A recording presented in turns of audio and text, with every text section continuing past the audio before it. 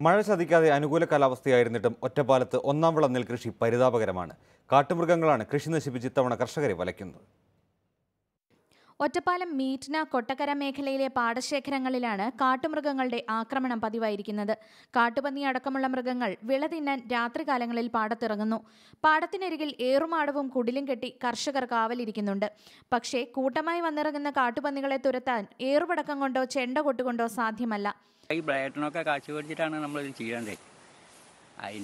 ഇല്ലെങ്കിൽ പിന്നെ ആവശ്യമില്ലല്ലോ.